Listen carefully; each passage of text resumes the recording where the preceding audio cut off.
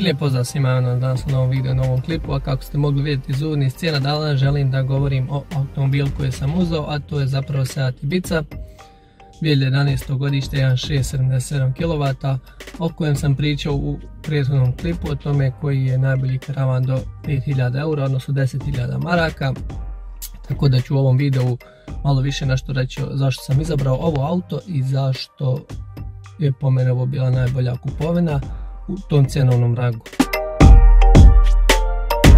Zašto sam izabrao baš Seat Ibizu, a nisam Peugeot 200, 207 karavan kojeg sam u tom klipu navao kao možda najbolji izbor e,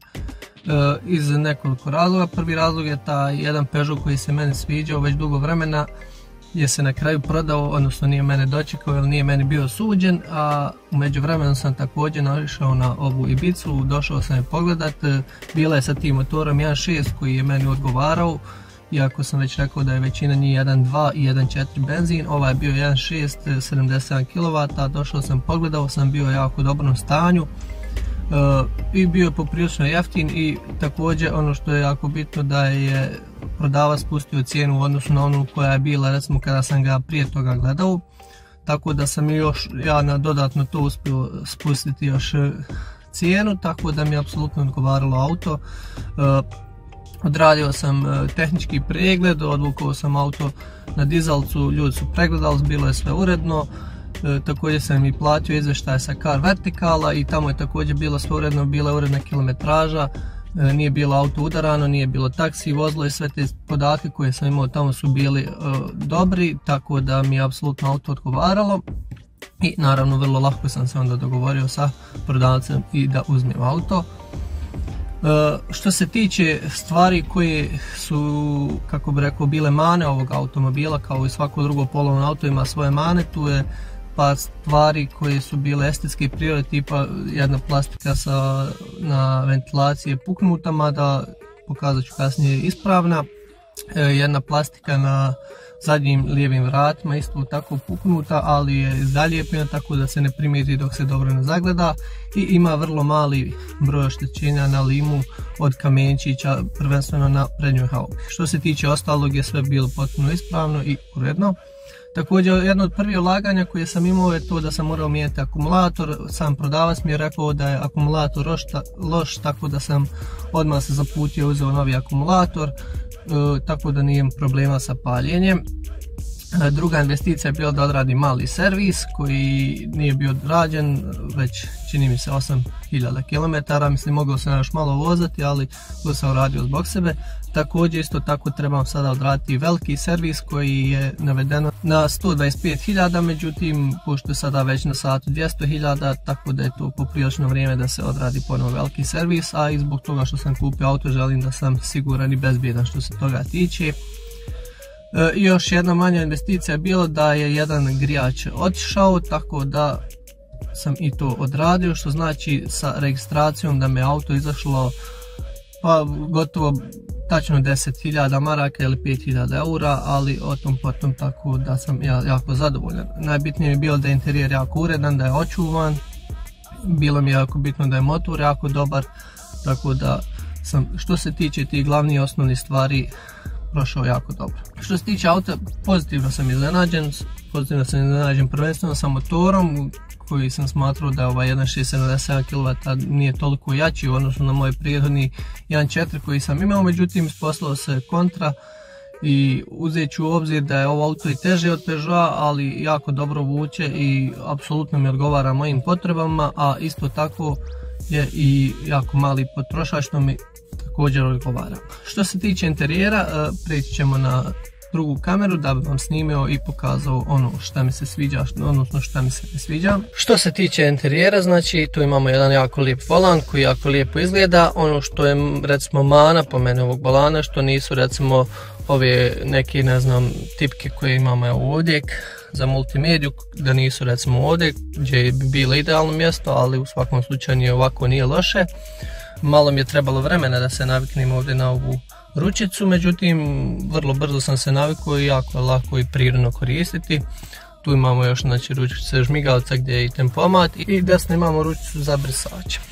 Što se tiče brzinomera, odnosno satova, jako lijepo izgleda, po noći on svijetli bijelo, dok je ovdje centralni bord kompjuter e, crven, kao i recimo ovdje ovaj player, a i isto tako klima u istoj boji. Što se tiče one plastike što sam rekao, tu je ovaj recimo puknuta, znači treba da bude ovako, međutim ovaj je puknut, tako da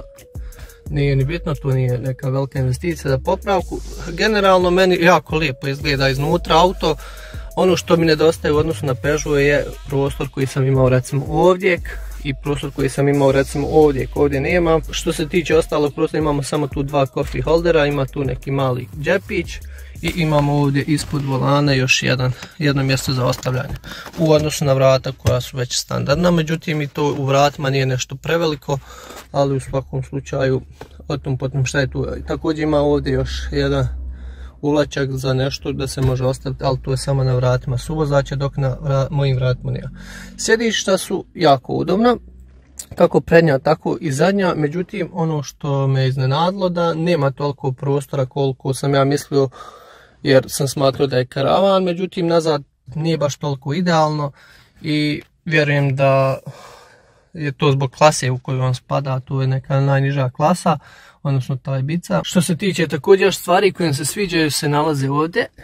ne znam da li će to kamera, evo vidi se malo, imaju ovi heksagoni unutar ventilacije koji jako lijepo izgledaju. Gepek je jako dobar, odnosno velik prostran i ima jako lijepu autopreglednost, sasvim solidno jako lijepo izgleda. Ima ovdje tu neku gumiranu plastiku bi ja to tako nazvao, dok je recimo ovdje gore neka tvrda obična plastika, ovdje je ta gumirana, također imamo i ovdje na vratima, znači gumirana, a ovdje gore tvrda plastika. Što se tiče ulaganja, sljedeći u ovaj auto će biti prva stvar koju sam već naručio, a to je ovdje naslonja za ručku koji će ići ovdje, ovo je ovdje miris e, i ovo se izvodi i tu upada taj naslonjač i tu se zavrne ili zaljepi kako već hoćete i tu će biti naslonjač za ruku bez kojeg je mene auto bez veze, tako da ću automatski dobiti još prostora za skladištenje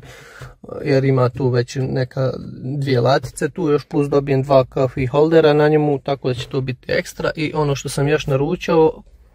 je e, ona LED nit koja će biti u crvenoj ili u bijeloj boji, nisam baš siguran koju sam naručio, u svakom slučaju bilo koja da bude crvena znači će se slagati sa ovim i ovim, a ako bude bijela opet će se slagati sa brzinom mira koju ćemo ići ovako ovom linijom, odraditi ovako, to sam već imao u Peugeot. Međutim, vremenom je izgorila od sunca, tako da sam je morao skinuti i vjerujem da ću ovdje to bolje odraditi, to mi je bilo čak prvi put da radim.